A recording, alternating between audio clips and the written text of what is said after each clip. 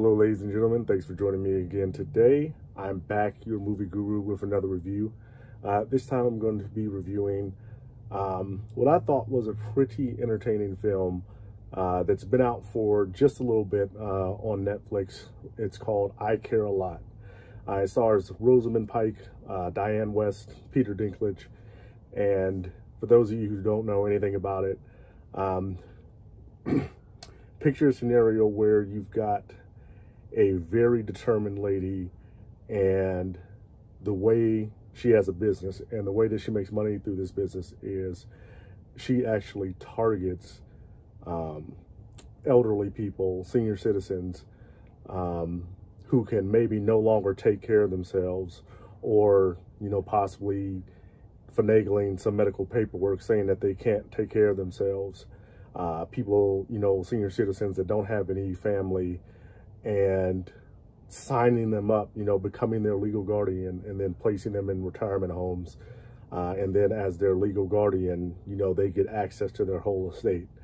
Um, so Rosamund Pike plays this character that for a living, this is what she does. She finds, uh, you know, people who are getting uh, senior citizens who, you know, may have dementia or Alzheimer's and, you know, not a lot of family. And then gets them, gets to become the legal guardian and then takes their estate. Uh, so that was, you know, just seeing that type of concept of someone do, doing that, I thought that was pretty interesting. And the the premise of the film is she gets one target who looks, you know, well-to-do, you know, a prime candidate. Uh, but it turns out that this lady um, is more than what she thought. You know, she has she looks like she doesn't have any ties, not a lot of family, um, but it turns out that she's actually tied to some pretty nefarious characters. And so when she tries to put this lady in the retirement home, take over her assets, um, there begins to be a bit of pushback that she wasn't expecting. Um, so I'll tell you my review up front. I give it a 7 out of 10. Um, it's got a whopping 80% uh, score on Rotten Tomatoes by the critics, but only 37% by the audience. Uh, so 80% of critics who saw this film uh, gave it a positive rating, but only 37% uh, of the audience did.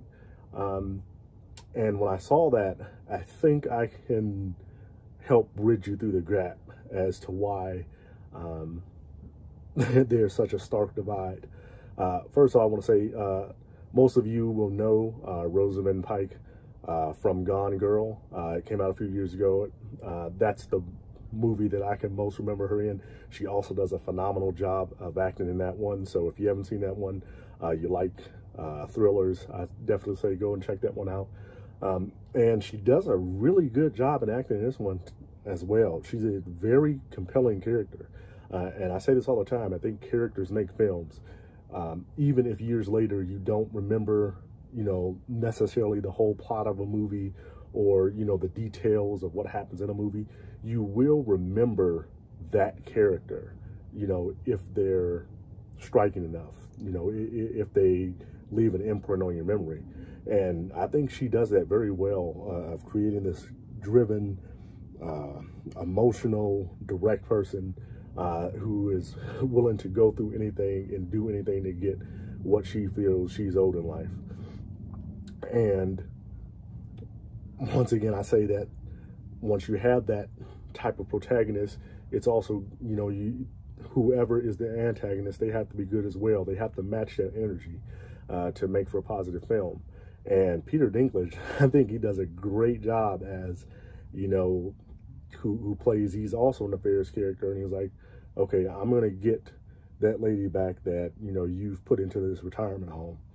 Uh, and seeing them go at it, I thought was very entertaining. Um, in, in ways that, you know, that not exactly typical. It, it's usually in these type of films, you know, you, you've got a hero uh, and, you know, a villain. Or uh, lately, sometimes you will have an anti-hero uh, and a villain. This time, it's really kind of like you got a villain uh, and a villain. And, and so I thought that dynamic was pretty interesting. Um, that said, so, so you know, I, am saying that Uh, I think the plot's really good, um, good pacing, uh, lots of suspense. You're always wondering what's going to happen next. Uh, you you, you want to see how this is going to end up, you know, who's going to win in this war between these two. Uh, so it's it's got good suspense, good pacing, good acting. You know, why has it only got 30% audience members, 37% audience members uh, give it a positive rating?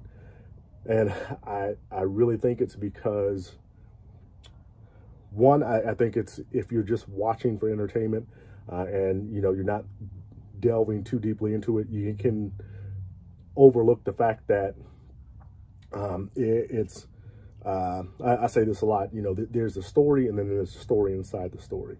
Uh, so uh, uh, the reference that I like to use the most is when Godzilla uh, first first appeared in the, I think it was the 40s or the 50s. I can't remember the exact original uh, year that it aired. Um, but, you know, yeah, it's about this giant monster and, and goes on this rampage on Tokyo. He's created by a nuclear bomb. But obviously, you know, having uh, Japan had just been the victim, you know, of an atomic bombing, this, the greater story was of Japanese, uh, Japan's fears, you know, of this new technology that the world had and, you know, what could be the consequences of that.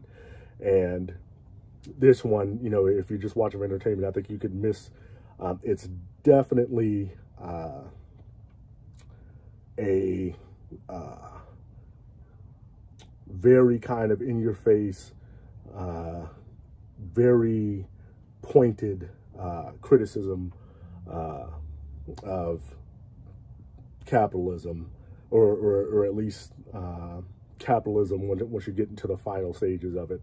Um, uh, there's a lot of moments that that that you, if you look at this film, you can see that um, that's it's very much the political ideology.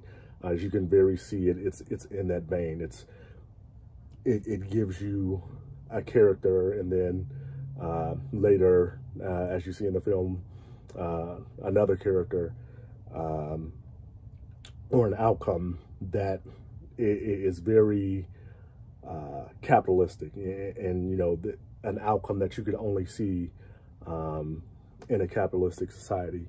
Uh, and so it, it kind of tells you, you know, the, the point, the, the greater point of the film uh, outside of the story of the film is, you know, this is what uh, capitalism can encourage.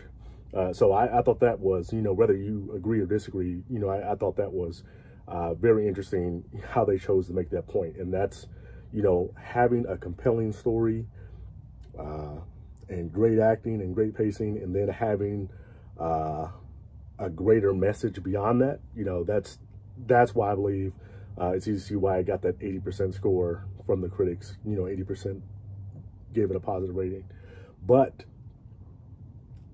I think that 37% is coming from, so like I said, so if you miss that message, you know, and, or, you know, if you disagree with that message or you don't like the way that they portrayed it, um, that's going to uh, color how you feel about it. And then number two, once again, I said this was villain versus villain. And it's really hard to root for either of these characters. Uh, so, you know, if you're wanting to see a feel-good movie or, you know, even uh, a thriller, but it's, you know, you've got, you know, the forces of good versus the forces of evil, it's really hard to get into this because you're looking at it like, I don't really hope any of them win. Um, it's hard for me to get invested into them uh, because of that. Um, so th that's why I think that really played into why a, a, lot of people gave it a negative rating because this is not a film that by movie in you're gonna walk away from and and feel happy or cheerful about. And I think that's a lot of why it's gotten a score. Um, but that's what I think. I, I enjoyed it. I think you would enjoy it too. Seven out of 10. Let me know what you think hit the like button, hit the subscribe button if you like what you see. Leave me a comment, and I'll see you guys in the next one.